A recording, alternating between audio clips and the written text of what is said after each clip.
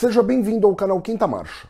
Meu nome é Walter Júnior e hoje eu vou falar da história do Romizeta, o primeiro carro produzido em série no Brasil.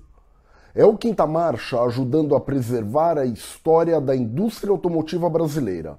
Ajude você também compartilhando esse vídeo. Roda a vinheta.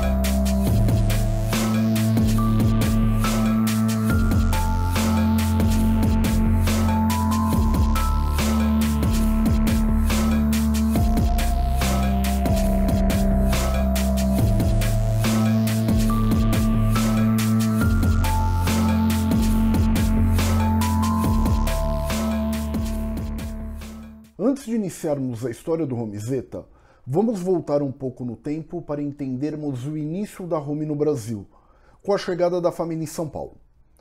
No final do século XIX, Policarpo Rome e sua esposa Regina vieram ao Brasil, começando sua vida na lavoura em São José do Rio Pardo, ficando aqui por um tempo. Américo Emílio Rome nasce em 1896 em São José do Rio Pardo e eles retornam à Itália 16 anos após seu nascimento. Na Itália, Américo Emílio vai para a guerra, onde conhece sua esposa Olímpia e constitui sua família. Olímpia era viúva de guerra e já tinha um filho, Carlos Chitti. A família então retorna ao Brasil, para São Paulo capital, onde Américo Emílio começa a trabalhar como mecânico. Após perdas com a Revolução de 1924 e com seu sócio, a família decide ir em busca de novas oportunidades para a Americana e, em seguida, em 1930, para Santa Bárbara do Oeste, onde na época havia uma economia local basicamente agrícola, abrindo a sua primeira oficina mecânica, que era a primeira oficina mecânica da cidade. Carlos Chitti, que havia ficado na Itália, então vem para o Brasil e começa a trabalhar com Américo Emílio. Começaram com uma oficina de consertos mecânicos e vislumbraram uma oportunidade de crescimento. Começaram então a produzir arados, inicialmente com uma pequena fundição. O segundo empreendimento foi o início da construção de tornos, sendo o primeiro torno construído em 1941. Surgia então a IMOR, Indústria de Máquinas Operatrizes Rome. Em 1943, a Imor já havia produzido mil tornos e tinha 526 funcionários. No final dos anos 40, a Home fez uma pesquisa e identificou uma oportunidade com a falta de tratores no mercado e passou a produzi-los, começando inicialmente com o modelo Lance Bulldog e mais tarde com o modelo Toro, sendo a primeira empresa brasileira a fabricar tratores. Depois de um tempo, eles saíram do mercado em função da alta competitividade com os modelos importados, e a Home ficou apenas com a produção de tornos. Carlo Schitti, sabendo do interesse de Américo Emílio por automóveis e mecânica, sugeriu um novo empreendimento, surgido da leitura de uma revista italiana que apresentava o lançamento do Iso Isetta na Itália. Esse carro era a ideia que precisavam. Em 1951, Américo Emílio Rome foi eleito prefeito de Santa Bárbara do Oeste pela coligação vitoriosa. Os primeiros protótipos do Iso Zeta surgiram na Itália em 1952, produzidos pela Iso Automoto Veicoli. Inicialmente, a Iso produziu motocicletas e scooters. Em abril de 1953, foi lançado no Salão de Turim o Isetta, que significa pequeno ISO, como veículo popular de baixo custo, nascido de um conceito do engenheiro aeronáutico Hermenegildo Preti e de seu assistente Pierluigi Radi. Ele tinha chassi tubular, carroceria de aço, capota conversível, duas rodas dianteiras, bitola traseira menor. Inicialmente, os protótipos tinham apenas uma roda traseira, que logo foi substituída por duas rodas para garantir melhor estabilidade. Media 2,25 metros de comprimento, 1,34 de largura, 1,32 de altura e 1,50 de entre-eixos. Tinha bitola dianteira de 1,20 e traseira de apenas meio metro, além de uma capacidade para apenas motorista e um passageiro, tanque de 13 litros e pesava 350 quilos. Tinha desenho em forma de gota, comunicação dos cabos por pequenas roldanas, vidros orgânicos fixos na traseira e nas laterais, quebra-ventos, para-brisa com vidro temperado, porta que se abria para frente como aviões cargueiros e pequenas rodas. Vinha com motor ISO de dois cilindros de dois tempos, vertical, transversal e traseiro, com bloco e cabeçote em alumínio, movido a gasolina, câmara de combustão hemisférica, 236 cm3, com apenas uma câmara de combustão, carburador Delorto UC24B, taxa de compressão de 6,5 para 1 e 9,5 HP. A transmissão com quatro marchas, também importado, era feita a transmissão com quatro marchas era feita por corrente duplex, dispensando o diferencial. Tinha suspensão dianteira tipo do Bonet, independente com molejo em borracha especial e amortecedores de fricção, traseira com meias molas, amortecedores telescópicos inclinados e articulações com casquilhos de borracha, e vinha com freios hidráulicos nas quatro rodas.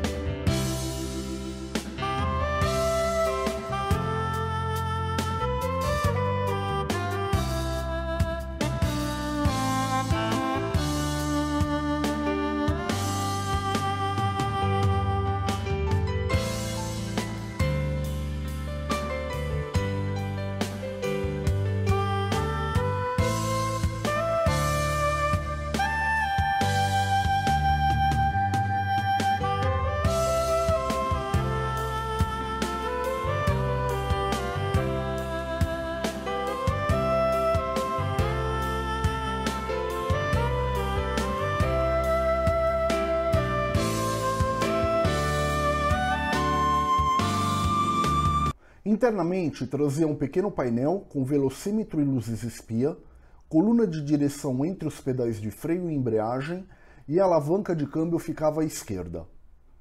Uma das patentes do Iseta se referia à possibilidade de estacionar o carro de frente para a calçada, reduzindo o risco de atropelamentos durante a entrada e saída dos passageiros. Encerrou a produção na Itália em 1955 sendo que alguns estudos mostram ter sido encerrada em 1953.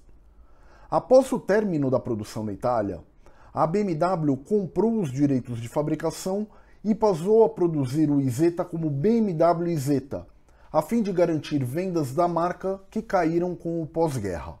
Em 1955, foi lançado o BMW Isetta 250, seguido do BMW Isetta 300, e em 1959 foi lançada uma versão de quatro lugares, o BMW 600, e na sequência o coupé BMW 700. Nessa época, os automóveis vendidos no Brasil eram ou importados já prontos ou apenas montados. O governo Getúlio Vargas, no pós-guerra, iniciou o processo de industrialização do Brasil com a criação em 1951 da CDI, Comissão de Desenvolvimento Industrial, que colocou em prática o planejamento industrial como um dos pilares para o desenvolvimento nacional. A CDI coordenava os trabalhos da Subcomissão de Tratores, Caminhões, Jipes e Automóveis, criada para estimular a implementação da indústria automobilística no Brasil. Produzir o Iseta no Brasil era viável, pois sua produção se encaixava em dois requisitos básicos estabelecidos pela Home, que era a produção rápida e baixos custos. A estratégia inicial foi agendar uma visita à Itália para negociar um contrato. Em junho de 1955, Américo Emílio Rome e Carlos Schitt viajaram a Milão, onde se encontraram com Renzo Rivolta, o proprietário da ISO. Américo Emílio teve um problema de saúde durante a viagem e Carlos Schitt assumiu a negociação. Foi fechado o direito de licença e os royalties de 3% sobre o valor de venda de cada unidade para a ISO. Isso feito, a Rome importou duas unidades do ISO Iseta da Itália para estudos e testes. A ISO enviou ao Brasil um piloto de testes e técnico, Domenico Stragliotto, que submeteu os carros a testes de rodagem para que se estudasse o comportamento e a durabilidade dos componentes do carro nas ruas e estradas brasileiras. Estava nascendo o Home Zeta.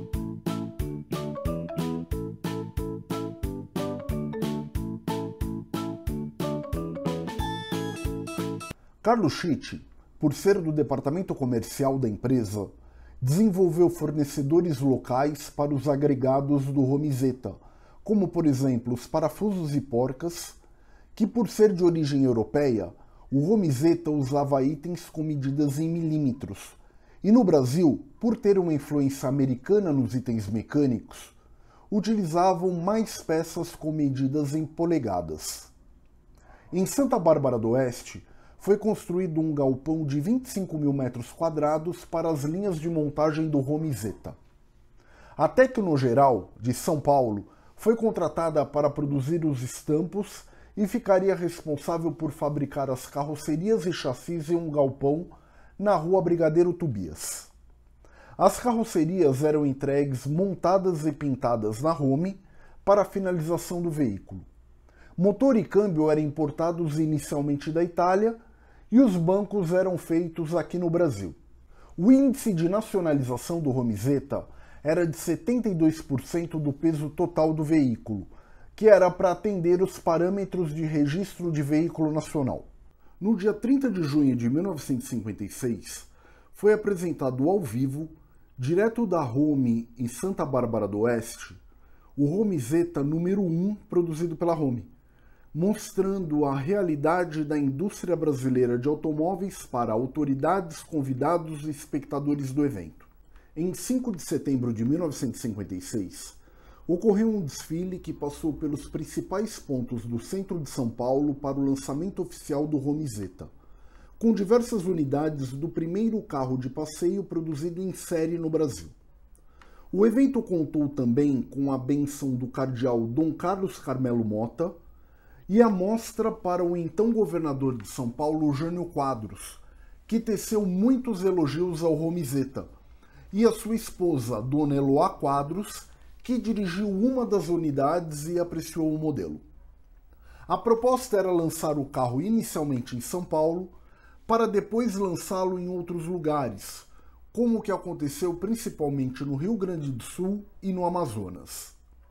Nesse momento, a Rome exportava seus tornos para mais de 53 países.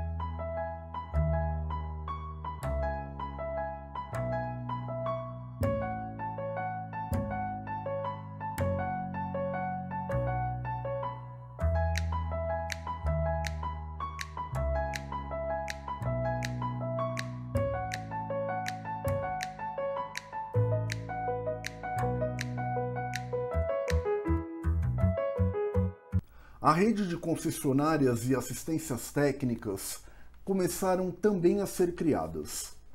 A Companhia Distribuidora Brasileira Comércio e Indústria, na Rua Marquês de Itu 133, no centro de São Paulo, foi a primeira a ser criada. O então presidente Juscelino Kubitschek recebeu um telegrama do sindicato setorial afirmando: a Rome se antecipou aos projetos governamentais, estabelecendo um marco na industrialização brasileira. Enquanto o governo planejava a indústria nacional, a Rome já produzia. Um ano antes do lançamento, Américo Emílio Rome havia comunicado a Jânio Quadros que construiria esse carro, e o governador lhe disse para solicitar o que quisesse do governo. Mas não foi preciso. Américo Emílio estava naquele momento mostrando seu produto e agradecendo ao governador. O Rome Zeta mantinha as características do modelo italiano, com seu chassi tubular, carroceria de aço, capota conversível, duas rodas dianteiras, duas rodas traseiras, tamanho de bitolas maior na frente e menor atrás, capacidade para duas pessoas, tanque de 13 litros e pesava 350 quilos. Tinha o desenho em forma de gota, vidros orgânicos fixos na traseira e laterais, quebra-ventos laterais, faróis junto aos paralamas dianteiros com piscas em cima dos faróis, paralamas curtos, para-brisa em vidro temperado, portas que se abriam para frente e pequenas rodas. Vinha com o mesmo motorizo de dois cilindros de dois tempos a gasolina, bloco e cabeçote em alumínio, agora importado, era vertical, transversal e traseiro, câmara de combustão hemisférica, tinha 236 centímetros cúbicos com apenas uma câmara de combustão, carburador Delorto C24B, taxa de compressão de 6,5 para 1 e 9,5 HP. A transmissão com quatro marchas, também importada, era feita por corrente duplex dispensando o diferencial. Tinha suspensão dianteira independente tipo do boné, com molejo em borracha especial e amortecedores de fricção, traseira com meias molas, amortecedores telescópicos inclinados e articulações com casquilhos de borracha e vinha com freios hidráulicos nas quatro rodas. Internamente, trazia um pequeno painel com velocímetro e luzes espia, coluna de direção entre os pedais de freio e embreagem e a alavanca de câmbio ficava à esquerda. O Romizeta vinha com alguns diferenciais em relação a outros veículos que eram vendidos no Brasil, como o formato da carroceria, que permitia uma instalação dos órgãos mecânicos em posição central, o que permitiu melhor distribuição de peso entre os eixos dianteiro e traseiro, contribuindo para a estabilidade. Tinha bloco e cabeçote em alumínio, freios hidráulicos, transmissão de quatro marchas, ótima visibilidade sistema elétrico de 12 volts, sinalizadores de direção através de piscas e limpador de para-brisa elétrico, e chegava a fazer 25 km com um litro de gasolina. Algumas das características marcantes do Romizeta eram consideradas puramente aeronáuticas em função das antigas atividades de seus criadores. A carroceria aerodinâmica em forma de gota d'água, visando minimizar a resistência com o ar porta única frontal trazida dos aviões cargueiros, o que facilitava o acesso ao interior do carro, fortalecendo a estrutura do veículo, cabine vidraçada, como nos caças a jato, possibilitando grande visibilidade, amplo uso de materiais de maior custo, porém leves, como alumínio injetado ou fundido, o que resultava em alta eficiência energética, menor peso melhores performances e redução do consumo de combustível. A ergonomia avançada, com os comandos ao alcance das mãos, e o cuidado com a localização do centro de gravidade e distribuição de peso, favorecendo assim estabilidade e segurança.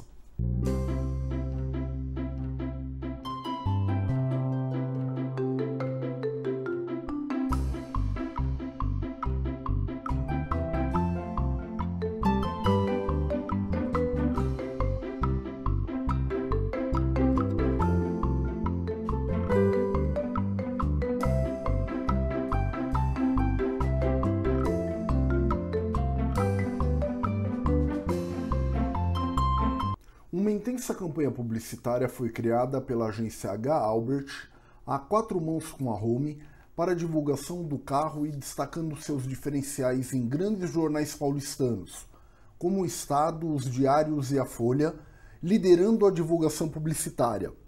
Revistas de ampla penetração, como Cruzeiro, Manchete, Visão e Seleções. TV, com comerciais ao vivo ou filmados.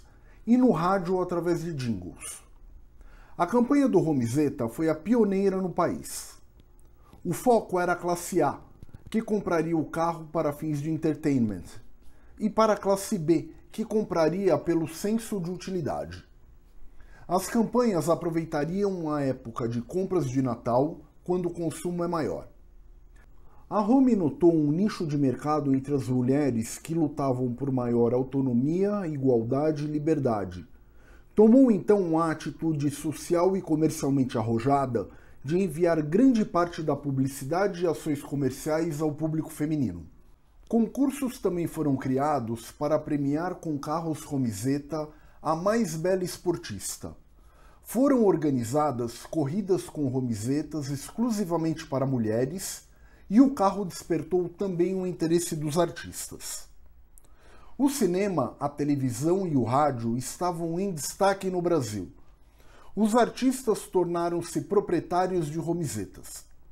A romizeta contracenou com Mazarop, Agnaldo Raiol, Anselmo Duarte, Odete Lara, Dercy Gonçalves, Aurélio Teixeira, Liris Castellani e Camilo Sampaio. Foram realizadas caravanas entre São Paulo e Rio de Janeiro, além de gincanas com Eva Vilma e John Herbert, casal que tinha o maior ibope da TV brasileira, entre outros artistas do cinema, do rádio e da TV.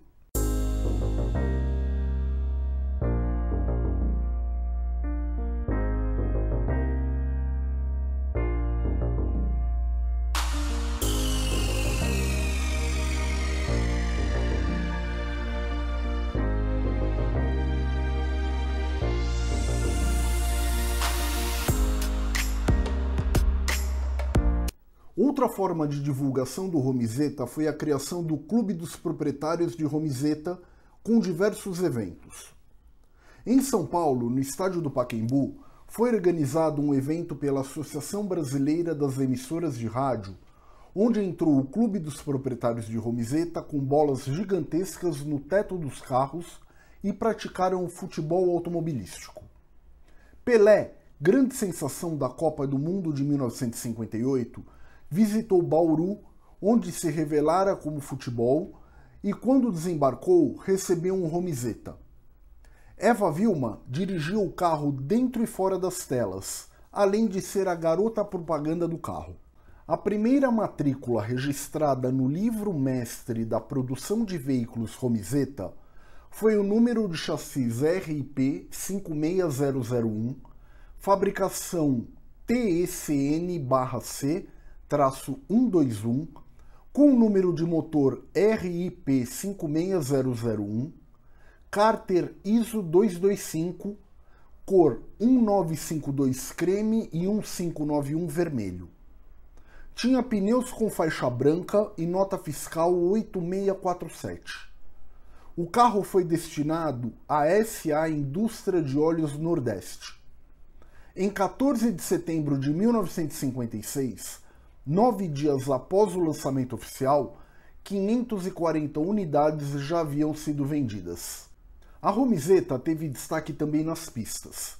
Foi criada uma categoria voltada para carros de 250 centímetros cúbicos.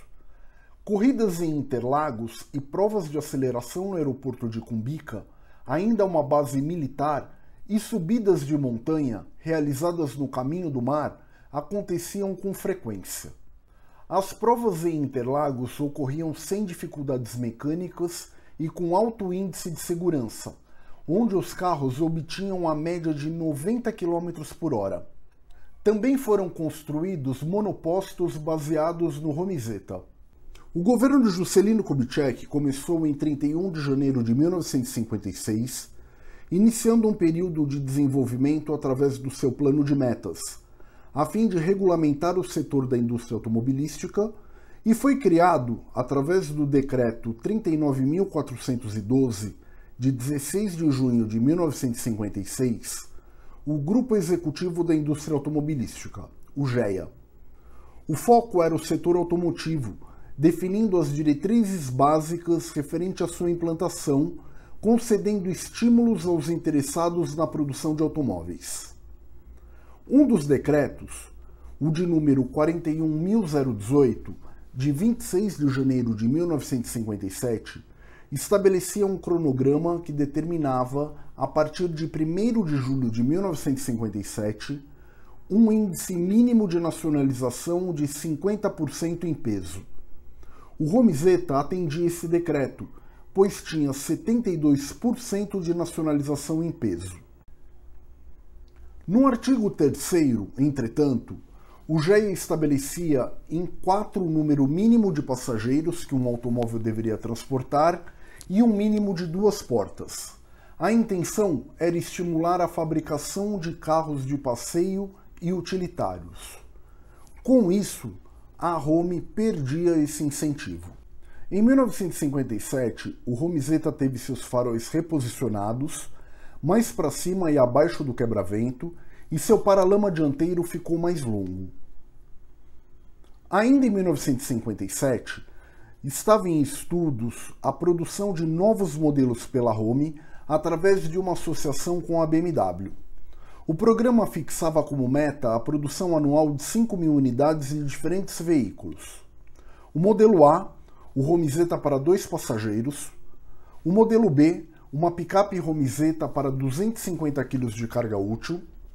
O modelo C, uma picape Home 600 para 600 kg de carga útil, o modelo D, um furgão Home 600, carroceria fechada, para 600 kg de carga útil, e o modelo E, um Home BMW 600 de uso misto para quatro passageiros, 350 kg de carga útil com duas portas, com lançamento previsto para 1958 seria necessário um investimento de 535 milhões de cruzeiros.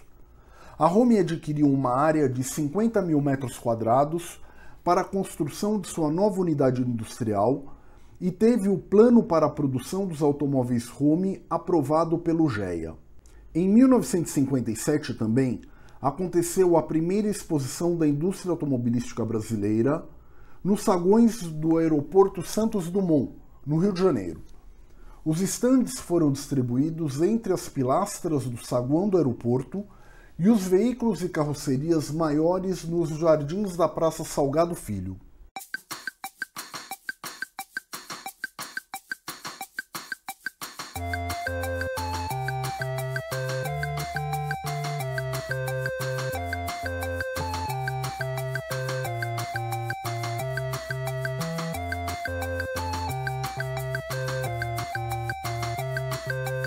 A BMW enfrentava dificuldades financeiras no pós-guerra e acabou cancelando o plano conjunto e o projeto da Home foi suspenso.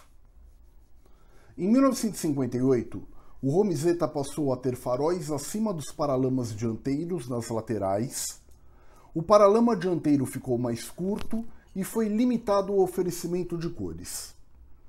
Em 21 de novembro de 1958, foi inaugurada a sede do Sindicato da Indústria de Tratores, Caminhões, Automóveis e Veículos Similares.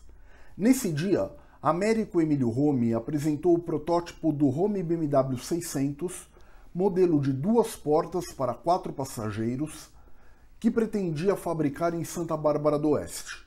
Dois meses antes da inauguração de Brasília, uma caravana partindo dos quatro cantos do país rumo à capital foi idealizada para fazer a ligação transbrasiliana por meio de um cruzeiro de estradas criado pelo então presidente da República Juscelino Kubitschek. O feito histórico marcou época não só pelo ineditismo de uma ação tão complexa e grandiosa, mas por usar uma frota com 137 veículos nacionais na estrada. As quatro caravanas encontraram-se no dia 2 de fevereiro de 1960 já na chegada a Brasília, Juscelino Kubitschek desceu do helicóptero e recebeu na coluna leste a bandeira do Brasil. A partir dali, o ex-presidente passou a liderar o cortejo pela futura capital federal em cima de um Romizeta. O Clube dos Proprietários de Romizeta organizou o raid São Paulo-Brasília para esse momento. O grupo de automóveis brasileiros e 287 expedicionários desfilou pelas ruas de Brasília ainda não inaugurada. O Romizeta passava de dentro da história da indústria automobilística brasileira para dentro da história do Brasil.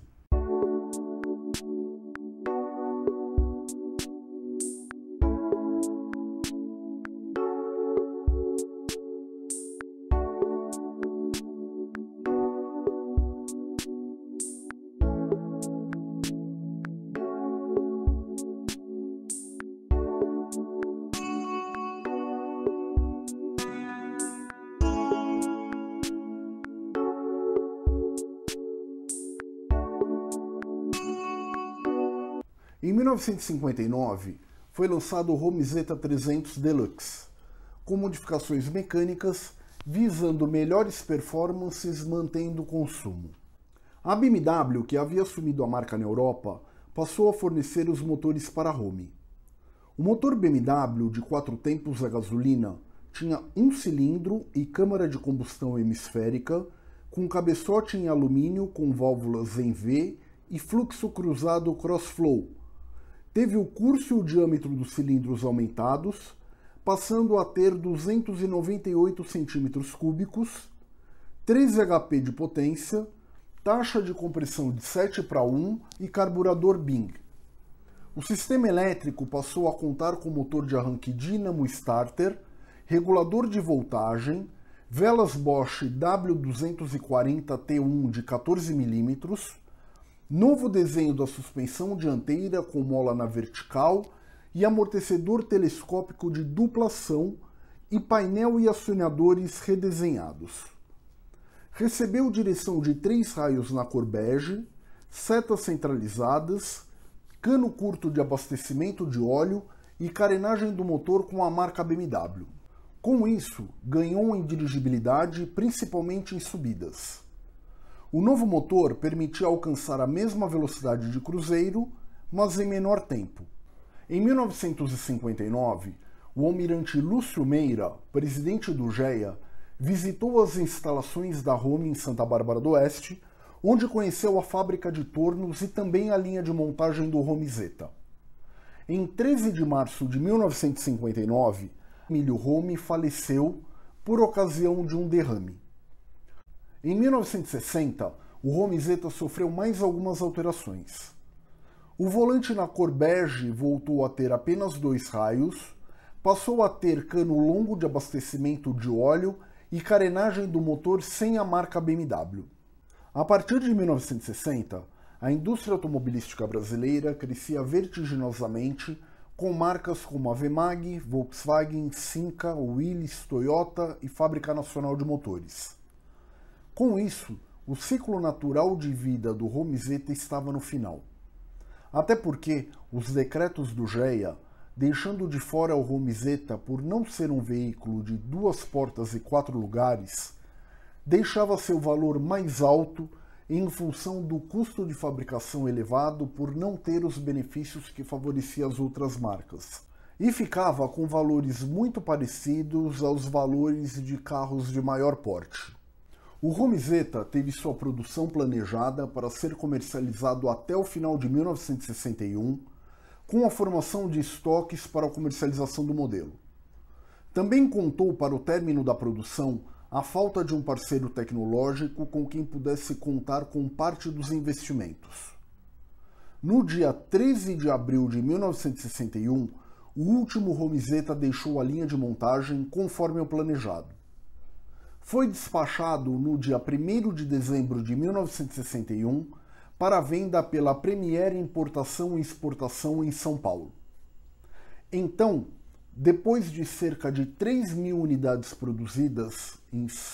Então, depois de cerca de 3 mil unidades produzidas em Santa Bárbara do Oeste, o Romizeta entrava para a história brasileira como pioneiro, o primeiro carro fabricado em série no Brasil. Em 1986, as indústrias Rome fizeram uma homenagem com um anúncio relembrando o desfile de lançamento e até hoje o pequeno grande carro é lembrado e comemorado. Hoje a Indústrias Home é uma empresa de renome internacional, cujos produtos e serviços são consumidos no mercado nacional e exportados para todos os continentes. São três unidades Fabris, sendo 11 no Brasil e duas na Alemanha, que ocupam mais de 170 mil metros quadrados de área construída.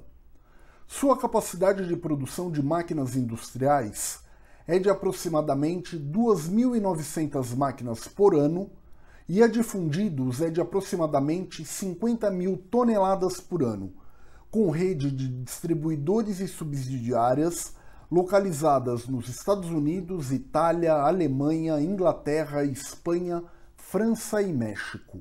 A Home criou em 1957 a Fundação Home, uma instituição beneficente de educação e assistência social organizada, a fim de promover o desenvolvimento social e humano através da educação e cultura, onde existe o Centro de Documentação Histórica, espaço vivo de preservação da história que atua na guarda, conservação e disponibilização do acervo da Fundação Rome e das indústrias Rome, com destaque para o acervo do Romizeta, além de resgatar todo o passado histórico de Santa Bárbara do Oeste e região. Seu acervo dispõe de registros que datam desde o fim de 1850 até os dias atuais, que pode ser consultado por qualquer pessoa. É a memória do Brasil sendo preservada.